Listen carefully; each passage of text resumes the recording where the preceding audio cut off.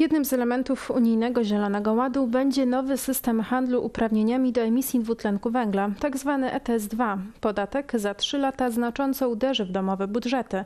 Co więcej, Polaków czeka przymusowa termomodernizacja budynków.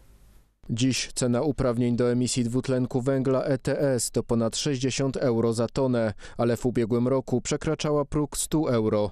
Ten koszt odczuwamy na co dzień w rachunkach z elektrowni i ciepłowni, jednak za 3 lata wejdzie w życie kolejny podatek ETS-2. Ten obejmie m.in. paliwa sprzedawane klientom indywidualnym do ogrzewania domów. Rachunki pójdą w górę, podkreśla ekspert do spraw energetyki Daniel Czyżewski. Więcej o 20% w przypadku ogrzewania gazowego i 25% w przypadku ogrzewania em, kotłem na paliwa stałe. W dalszej perspektywie, to już wyliczenia Polskiego Instytutu Ekonomicznego, te rachunki mogą pójść e, w górę nawet o 40 lub 50 procent.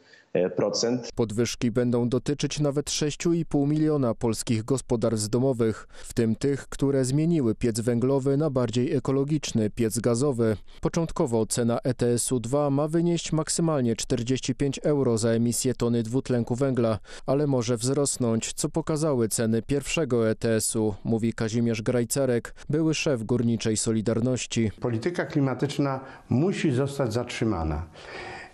Y, Dozują nam po kawałku, a to będą opłaty takie, a to tam y, klimatyczne jakieś opłaty będą, a to ETS, a to po to, żeby się ludzie do tego przyzwyczajali. Żeby zmniejszyć koszty ogrzewania, konieczna będzie zmiana źródła ciepła i termomodernizacja budynku. Te działania mogą być niedługo wymogiem, bo nowelizowana dyrektywa o efektywności energetycznej budynku zakłada, że od 2040 roku zakazane będzie użytkowanie kotłów na paliwa kopalne we wszystkich budynkach. Z kolei od 2030 roku budynki będą musiały spełniać wymaganą klasę energetyczną. Przymusowa modernizacja budynków do zeroemisyjnych jest de facto wywłaszczeniem albo podatkiem katastralnym, ponieważ wie, wiele z tych osób nie będzie w stanie wydać kilkadziesięciu tysięcy na modernizację i w związku z tym będą wywłaszczani, będą obciążani ogromnymi karami. Wskazuje poseł Prawa i Sprawiedliwości Waldemar Buda.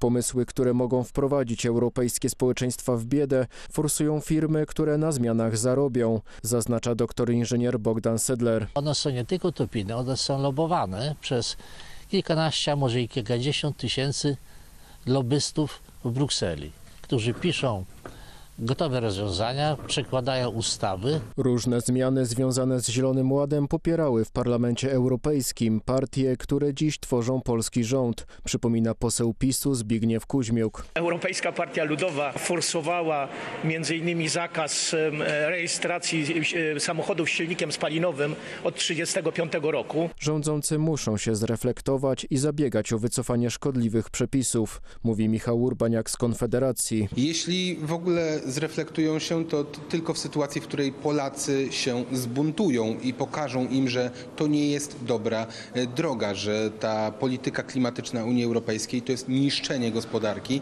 to jest niszczenie tego, co Polacy przez lata e, budowali. Niewykluczone, że w drugiej połowie roku w Polaków uderzą wyższe ceny energii elektrycznej, jeśli rząd nie przedłuży zamrożenia cen.